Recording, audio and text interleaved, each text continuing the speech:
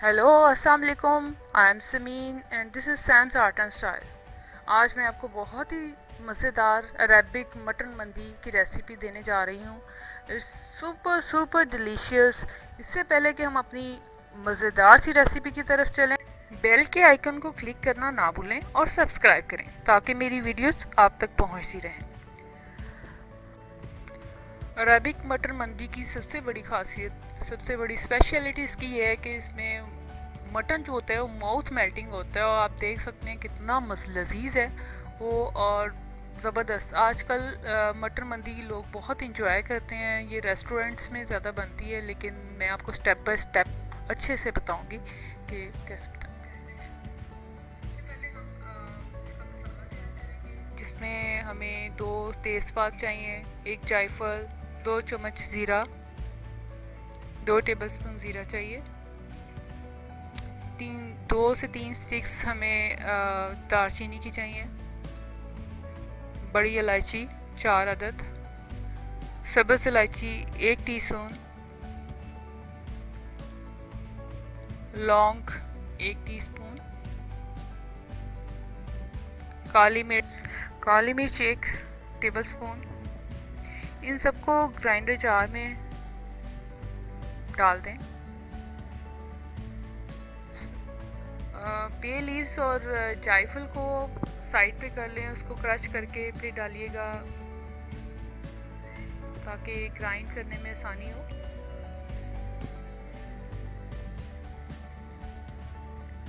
अब हमने मसाले को ग्राइंड सारे स्पाइसेस ग्राइंड हो चुके हैं।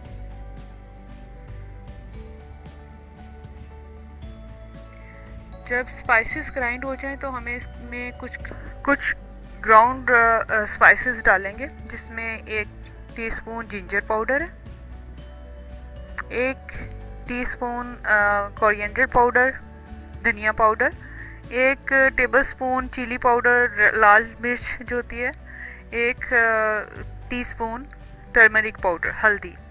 इन सब स्पाइसेस को हम मंदी मसाला जो हमने पहले ग्राइंड किया था, उसके अंदर मिक्स कर देंगे। नाउ द मंदी मसाले इज़ रेडी ये ये एक स्पाइस है जो मंदी की स्पेशल अब हम अपने नेक्स्ट स्टेप की तरफ़ चलते हैं। सेकंड स्टेप पे मटन की marination it's most important part of the recipe इसको मैं लिटल कॉन्शियस के मैरिनेशन बहुत अच्छी हो तो मैंने इसको कट भी लगा ली और फोक भी किया है।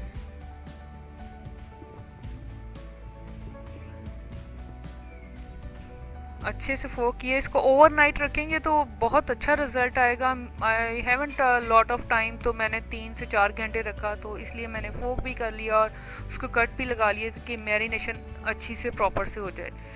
तो मैरिनेशन के लिए हमने दो चम्मच मंदी मसाला जो हमने रेडी किया था वो लिया दो टेबलस्पून हमने लेमन जूस ले लिया। सबसे पहले हम लेमन जूस को उसके ऊपर अच्छे से लगा देंगे। इससे टेस्ट जो है वो अंदर तक चला जाता है लेमन को पहले लगाने से। फिर हम मंदी मसाले में tender riser meat tenderiser powder मिलता है बाज़ार से वो हमने एक टेबल स्पून डाला और एक टेबल स्पून ही हमने आ, नमक डाल दिया। उसको अच्छी तरह मिक्स करके हमने मटन के ऊपर अच्छे से उसको मल देना है लगा देना है। और उसके जितने हमने कट्स लगाए हैं कोशिश करें कि उसके अंदर अंदर तक लगा दें अच्छे से ताकि मैरिनेशन अच्छी हो अंदर तक टेस्ट चला जाए। उसका एक अरूमा ऐसा ज़बरदस्त आता है और स्पाइसेस बहुत लाइट हैं, इसलिए अच्छा सा फील होता है।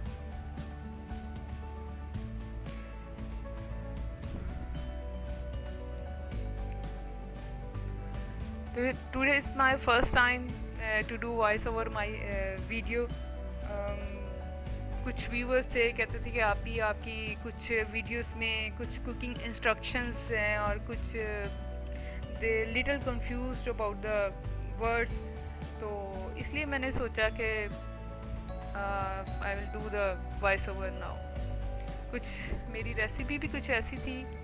अब हमने इसके दो पीच हमने लिए हैं ज़ाफ़रान के, उसको मैंने ल्यूक वार्म वाटर में डाल के एक आध मिनट के लिए रखा है कि वो उसका अपना कलर छोड़ दे। उसके बाद हमने उसको मटन के ऊपर डाल दिया। अब स्टेप थर्ड की तरफ़ जाएँगे अब ये मटन को हमने स्टीम कैसे रखना है? स्टीम के लिए कैसे रखना है? आ, उसमें हमने एक टमाटर चॉप ले लिया और एक कैप्सिकम को शिमला मिर्च को चॉप कर लिया है अच्छे से स्क्वेयर शेप में काट लिया और एक प्याज को आ, भी ऐसे चॉप किया। और दो टेबल स्पून ऑयल लिया है चार सबस मिर्च फुल लिए हैं और दो लेमन लिए हैं हमने और चार से पाँच लहसुन के पीस लिए हैं। चार, छः हमने लौंग लिए हैं और थोड़ा सा जावित्री और नमक लिया है। इन सबको हम इंग्रेडिएंट्स को, प्याज को शिमला मिर्च को, एक पैन में, एक प्रेशर कुकर में मेरे पास अवेलेबल था, मैंने उसमें रखा।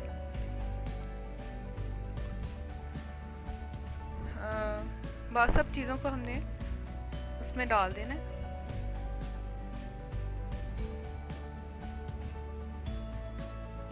लहसुन के पीस थोड़े से बड़े थे, इसलिए मैंने उसको थोड़ा सा काट लिया। बाकी इंग्रेडिएंट्स भी, लौंग ये जावित्री का फूल है, उसको, और नमक को, और इसके बाद हमने एक लीटर से एक लीटर से डेढ़ लीटर पानी जो है, वो मैंने उसमें डाल दिया है।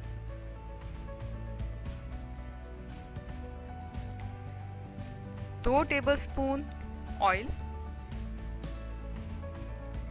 अब एक सीव था मेरे पास प्रॉपर वो कुछ नहीं था लेकिन आ, मैंने सोचा कि सब आ, को थोड़ा प्रॉब्लम ना हो किसी को। इसलिए मैंने कोई भी सीव जो घर में अवेलेबल था मैंने उसको इस तरह उल्टा करके रखा और उसके ऊपर हमने मीट सेट कर दिया। देखिए आप देख रहे होंगे कि कितना इजी है। बाकी जो पानी इसका बच जाएगा वो भी आपने वेस्ट नहीं करना हो उसके ऊपर पोर कर दें। प्रेशर कुकर को बंद कर दें और विसल भी लगा दें। इसको तकरीबन हमने एक घंटा के लिए स्टोव पे रखना है। बीच में से हम बीच में हम खोल के देख सकते हैं कि मटन टेंडर हुआ या नहीं। जितनी देर हम मटन तैयार करते हैं, उतनी देर हम चटनी के लिए तैयारी कर लेते हैं। चटनी के लिए हमें तीन टमाटर, एक प्याज, दो सब्ज़ मिर्च, एक हैंडफुल धनिया है और दो क्लोव्स हैं उसके लहसुन के। रोस्टेड क्यूमन सीड्स हैं, ज़ीरा है, एक टीस्पून और एक टीस्पून नमक था। इन सबको हमने थोड़ा थोड़ा चॉप कर लेंगे ताकि ब्लेंडर में थोड़ा सा मिक्सर में आसानी हो।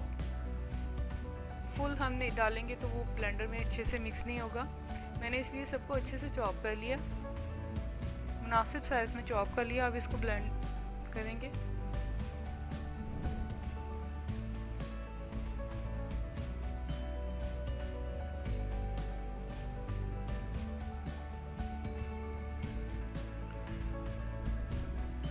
ज़ीरा भी मैंने डाल दिया और नमक भी डाल दिया हमने। और लेमन का जूस हम बाद में डालेंगे। लेमन जूस भी ऐड करना है, हमने तकरीबन चार टेबल स्पून लेमन जूस है। ये चटनी जो है, ये अरेबिक मटन मंदी की जो टेस्ट है, उसको और डेवलप कर देती है। अगर आप इसके साथ इसको खाएँगे तो इसका मज़ा दोबाला हो जाएगा। बहुत टेस्टी लगती है ये चटनी।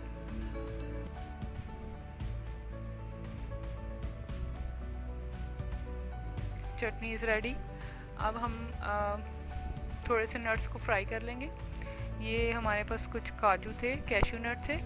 उनको थोड़े से ऑयल में बटर में, आपके देसी घी है तो उसमें थोड़ा हल्का सा फ्राई करेंगे। और इसके बाद मैंने बादाम थे, उनको थोड़ा सा फ्राई कर लिया। अब हम देखते हैं मटन की तरफ़ कि मटन वाह ज़बरदस्त। देखिए मटन कैसे अच्छे से कुक हो गया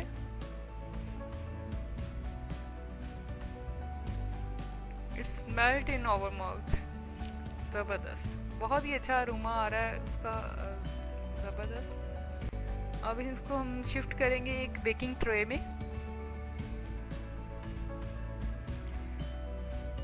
इस बेकिंग ट्रे में हम शिफ्ट करेंगे और फिर दो चम्मच टेबल दो tablespoon butter melted butter ले लें और तक उसको रूम टेम्परेचर पे रखें और उसमें एक से डेढ़ टीस्पून कलर डाल दें येलो कलर और उसको ग्रीस कर दें मटन के ऊपर ग्रीस कर दें।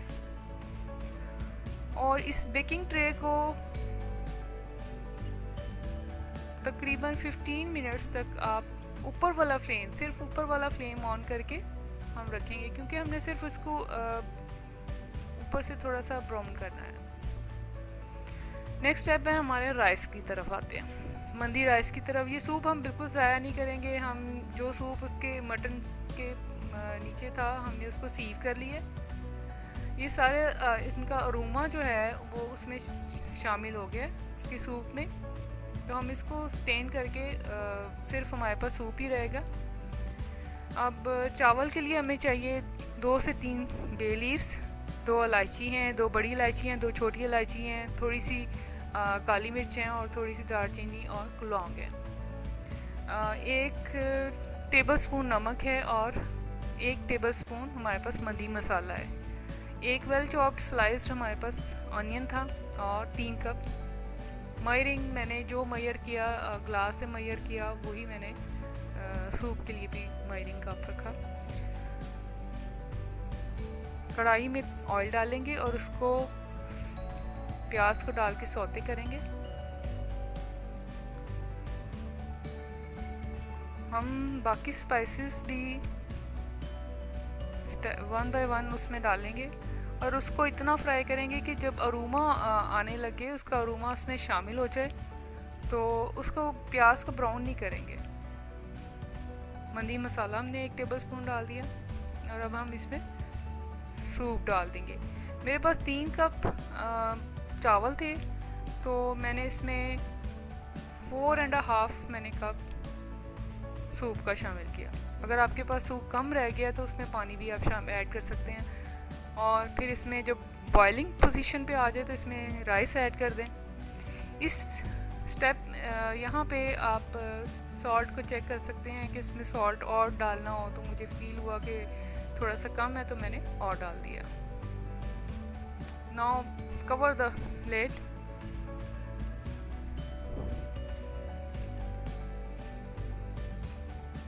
अब हमने मटन देखा, मटन ज़बरदस्त तरीके से वो कुक हो चुका है। इट्स रेडी टू सैम्बल चावल भी तकरीबन हो चुके हैं। स्टिर इसको स्टिर करेंगे हम थोड़ा सा बड़े सॉफ्टली और जेंटली करेंगे ताकि चावल टूटने न पाए। और मटन को उसके ऊपर रख दें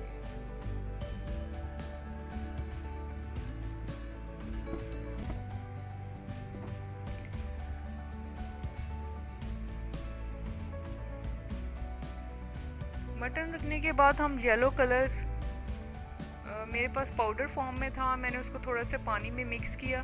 तकरीबन दो टेबल स्पून पानी में, एक से डेढ़ टेबल स्पून कलर मैंने मिक्स करके उसको ऊपर डाल दिया।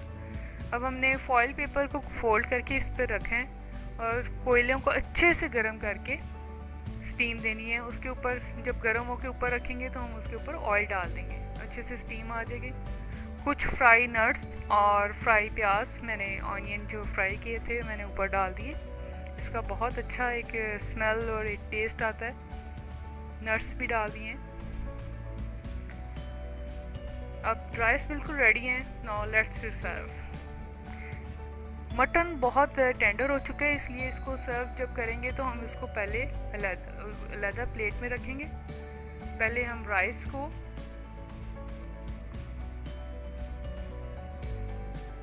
डिश में डालेंगे। पहले राइस डिश आउट किए जाएँगे। इसको थोड़ा सा स्टीर करेंगे हम बहुत जेंटली ताकि चावल जो हैं वो टूटने ना पाए।